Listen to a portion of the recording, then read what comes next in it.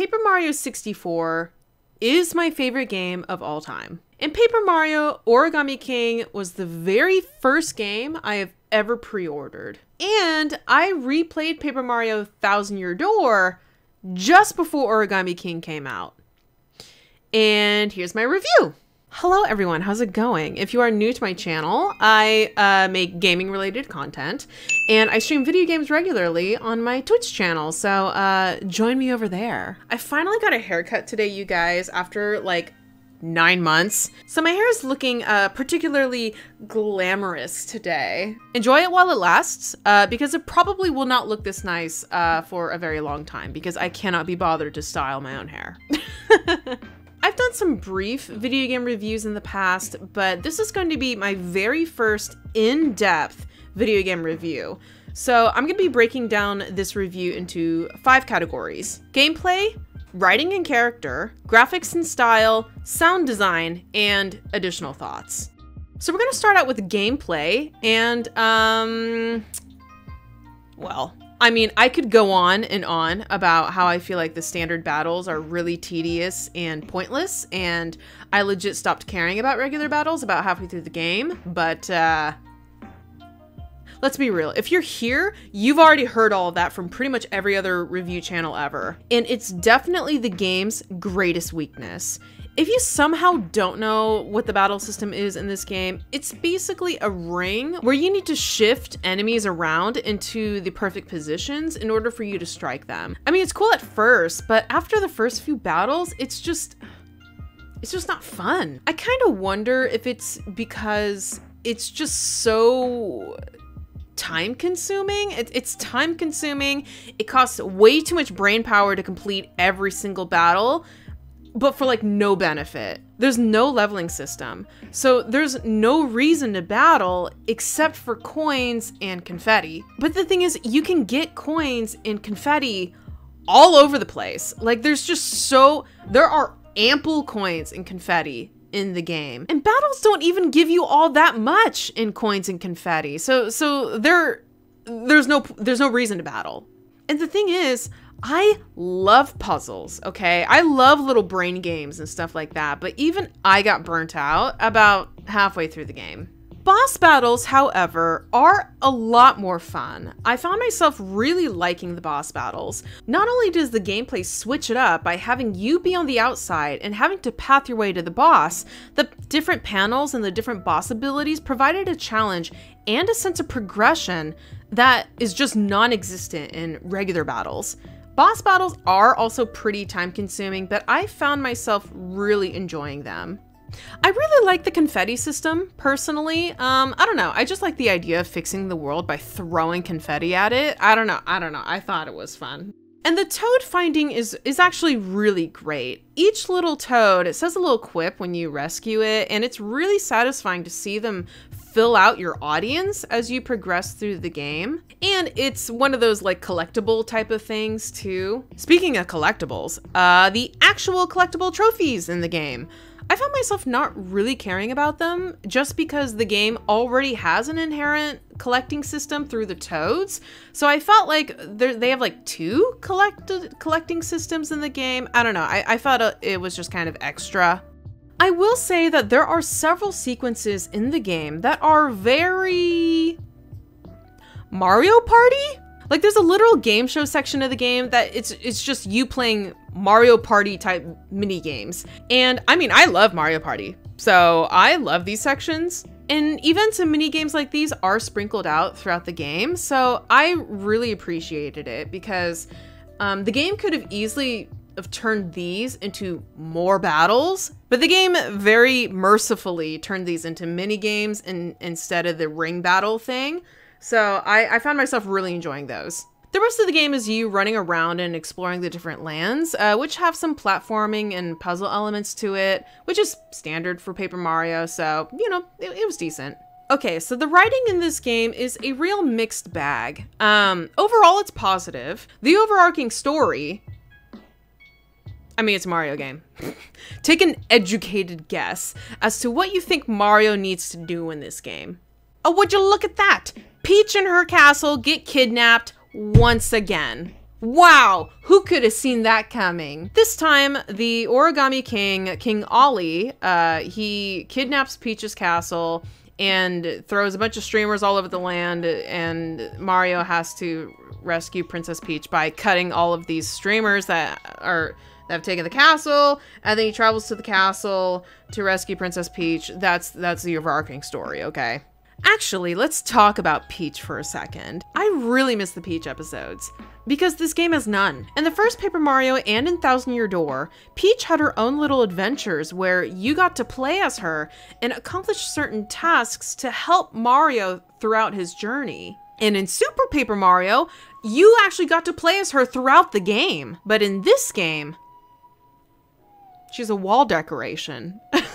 I, like she she legit does nothing. Like girl, like I I think that's a new low for you. And I don't know, this is a particular nitpick for me, just because I really enjoy when there are female characters that are um competent. Speaking of competent females, Oh boy! So Mario's main partner in this game is Olivia. People seem to like Olivia okay, but for me, oh, she was just so grating. Like she's just she's just so she's just so cute and quirky. like she's just so smart. and by smart, I mean she's dumber than a bag of rocks. And sometimes her eyes, they, they just refuse to see things. And I it just, oh my gosh. I was hoping the game would give some sort of explanation as to why she is just so lacking in knowledge. I legit thought the game would give Olivia some sad backstory about how she was never let outside and she knows nothing about the world because because of it. And uh, no. Nope, nope. Uh, the game never answers as to why um, Olivia is the way she is. She's dumb because she's dumb. That's it. That is her main personality trait. And uh, wow, is it annoying. Even when she spoilers, dies. I thought what she did was like nice and all, but I didn't really feel much for her.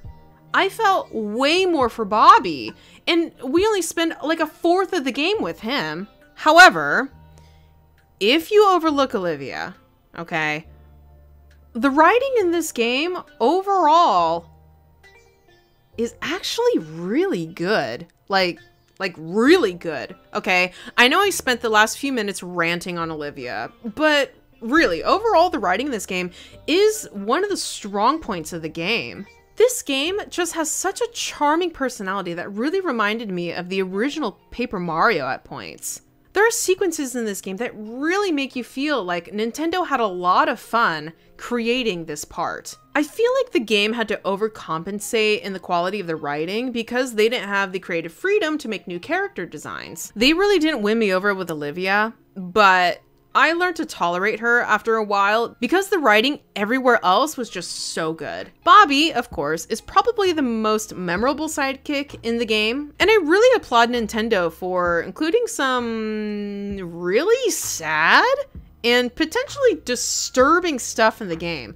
Like, there were several times in the game where I was thinking, man, if this was a different game, this would be some real horror fuel. Oh my gosh. Whenever this game has a dare I say, cute and quirky sequence, like the hidden cafes, the Shogun Studio Theater, and other cute moments, they just they just really worked for me. And don't get me started on the writing on some of these villains, okay? Some of their personalities are just so over the top. And I love it. Despite this game having a very simple premise, and despite Olivia, the writing and fun sequences in this game really show this game's personality, and I I actually really love I really love it. The graphics and the style. Okay, so the visuals in this game are amazing. The designs of the origami characters and the colors of everything just look so good. And each and every different area in the game is just so unique and fun and beautiful to look at. I love that we basically went to Shogun Disneyland as an area. Um, and I love that we got to visit Wind Waker. I love that we got to visit Paper Mario Las Vegas. All of these places are just so fun and visually stunning. Again, this game had to overcompensate for the lack of original character designs, so they just went all out on the locations and the different areas and the style of this game. Sound design. The music in this game is great. I love that the battle music changes when you enter a new area of the world. It's a nice little touch that made battles slightly more bearable. And there are even little songs throughout the game that are just so cute. And there are parts of the game where the sound design adds more charm to, you know, the fun and quirky sequences. what just happened? What just happened? Is this a musical? Is this game a musical? I'm down for it if it is.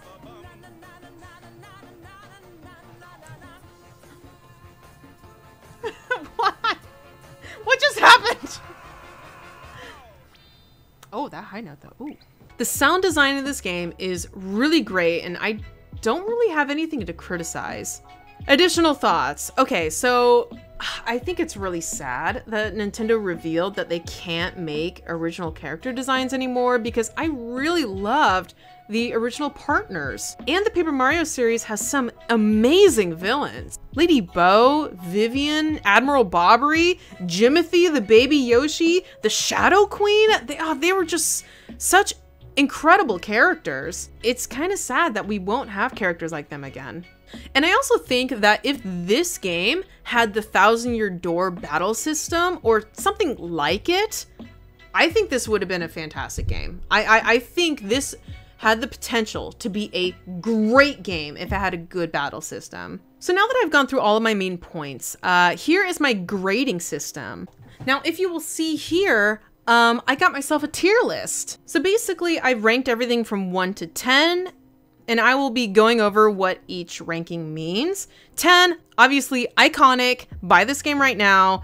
This game, if it makes it to 10, it means it is an icon of that platform. It is one of the best games of that entire game's generation. And, and it's a staple. You have to have it. Nine, it's a fantastic game. I really loved it, and you probably should go buy it. Eight, it's a great game. Um, but I I would buy it if you're interested in the game. If it's if, if this type of game doesn't float your boat, then don't worry about it. But if you're even a little bit interested, I would probably go get it. Seven, this is a good game. Um, if it is convenient for you to buy it, if you have a little extra money, you can afford to buy yourself a new game, or if someone gives you a gift card or something along those lines. If it's convenient for you to go get this game, I would go get this game. But otherwise, don't don't feel like you need this game. Six, this is an okay game. Um, I would not buy this game on full price. I would wait for it to go on sale. And once it's on sale, then go ahead and get it. But otherwise, it's not something that you need right now. Five, this is a subpar game. Um, and I would play this game if it's given to you or if you can find it for free or if you find if you find it for like 90% off or something like that then uh, then you can get this game. But otherwise uh, this is it's not that great. It's not horrible. It's not good either. If it lands in 4 it is a bad game. But it could be worse. You know, th there might be some good elements of the game, but overall, this is a bad game. Three is is pretty much like four, but even worse. Like this is just really bad, and there are no real redeeming qualities to this game. Two is not only is this game bad, it was painful to play. I can't even think of a game that deserves a one, but this game is like, oh my gosh, why was this game made? This is actual torture this is an awful game. This is the kind of game you give to people if you want to see them suffer. So now that I've gone through my uh, tier list, let's place Paper Mario Origami King. Considering everything that I have just explained, personally, I will rank Paper Mario Origami King in the 7 category.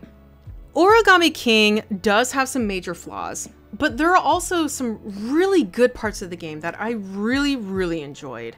I'm really glad I played it once. Um, not gonna lie, I probably won't play it a second time unless another Paper Mario game comes out in the future and I'm doing like a hype train or something like that. It's definitely not one of those games that you'll be playing multiple times or or there's like some any real replay value or anything like that.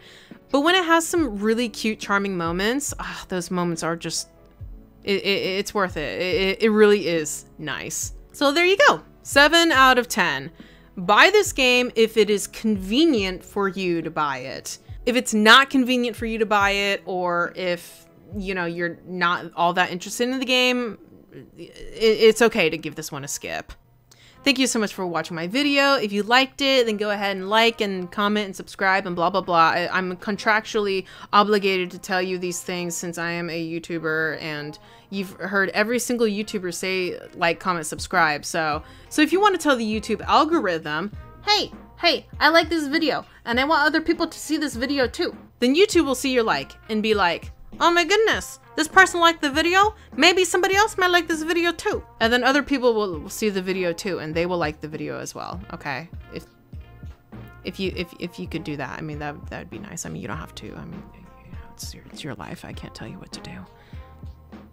I would really appreciate it though. I, okay. Thanks. Anyway, thank you so much for watching and I will see you guys next time. Bye.